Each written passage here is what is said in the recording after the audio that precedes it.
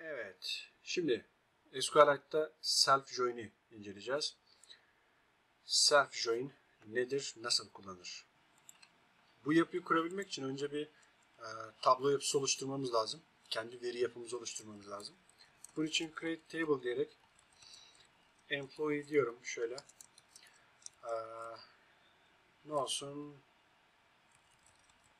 Employee ID olsun. İnt primary key first şu kullanımı sevmiyorum. Böyle olsun. Evet. First name varchar 50 last name olacak. Şurada da sonra manager ID olacak. Bu da integer gene. Ve şuraya bir foreign key yapıyorum. Ee, şuraya bir mutluluk çiziyorum. References employee employee ee, şu employees olacak. References employees içerisindeki employee ID bizim referansımız olacak. On delete cascade çok da önemli olmasa da. Insert ile veri eklerim. Çoklu veri ekleyeceğiz tabii ki burada tek seferde. Employee ID uh, first name last name manager ID hemen burada veriyi ekleyelim. Veri kısmında da bir şöyle mesela bu null olsun örnek veri amacıyla. Şöyle copy yaptım. Hemen paste yapıyorum şuradan. Bunu alıyorum böyle.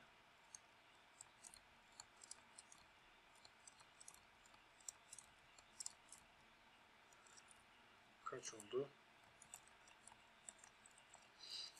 2 3 4 5 6 7 8 tam olmuş. Aa, Ali Veli Ayşe, tabii ki Fatma, Cihan, Barış, Emre, Kerim şeklinde olsun. Ali Murtaza olsun. Meli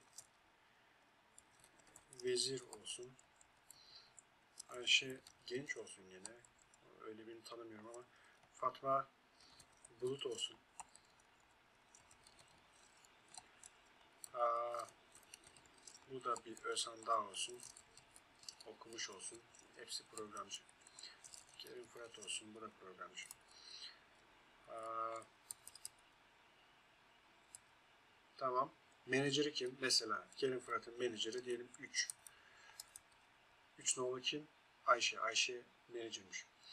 Ee, diğeri 3 bu da 3 menajeri. 5 ee, noluğunu kim olsun? 2 olsun. Bir tane daha 2 menajeri olan kişi olsun. Mesela e, Ayşe'nin menajeri kim olsun? 1 olsun. Ee, bu da 1 olsun. Ali Murtaza onun menajeri yok. O King. Ee, bu arkadaş patron. Select Tabii şunları bir çalıştıralım bu arada. All employees. Ben bunu şurada kullanacağım. Ee, evet burada tablomuz olduğu için bu e, hata verdi. Ben employee example db üzerinde çalıştıracağım. Orada da bir employees var. Onu siliyorum ben. O önemsiz olduğu için. Ve Şunu değiştiriyorum. Example db yaptım. Burayı da çalıştırıyorum. Evet şu an sıkıntı yok. Şimdi veriyi ekleyeceğim. Ops. Sorunumuz ne burada? Aa, bakın şunlarda virgül yok. Burası da tamam. Şurası da tamam. Evet şu an e, hatta altını çizmiyor zaten. E, Rows affected 8 olarak gördük. From employees diyorum. E, Şunları bir listeleyelim. Sonra kendi kendine e, point eden join'imizi yapalım artık. Bakın önemli olan şuradaki null verisi. Aslında kendi kendine hepsi ilişkili ama tepedeki o boss dediğimiz patronun e, başkasıyla ilişkisi, olm ilişkisi olmayacak. Gerçi kendisini ilişkili gösterebilir orada. E, kendi verisini. Falan o çok mantıklı olmayabilirdi. Neyse. Şimdi burada join'imizi yapalım. E, diyorum ki ne olacak? Employee ile. O zaman e nokta first name Aa, ne olsun birleştir ad ile şunu neyi last name diyorum olsun bu ya da full name olsun yani neden amp olsun ondan sonra aa, diğerimiz neydi ben burada manager'ı bulmak istiyorum herkesin manager'larını da point edeceğim hani e, hepimiz aynı tablodayız aslında hepimiz aynı geminin yolcusuyuz employees ama birisi birinin yöneticisi değil mi? Onu işaret etmemiz gerekiyor. Bu nedenle M diyorum. Hatta şöyle diyeyim ben. Ha, şunu employee diyelim. Bu çünkü manager olacak. Şu manager. Bakalım benim menajerim kimmiş? Employees employees E inner join yapıyoruz. Self join inner join ile yapılıyor. Ondan sonra gene employees tabii ki kendi kendini işaret edeceği için employees nokta m on m nokta employee id ile tabii şunu kafa karıştırmasın şöyle yapayım. m nokta employee id ile e nokta employee id'yi şurayı böyle yapalım. Ondan sonra bunu kapatıyorum. Burası bitti. Ben bir order by daha eklemek istiyorum. Bu da manager'a göre listelemek için. Bu kadar. İşlemimiz bitti aslında.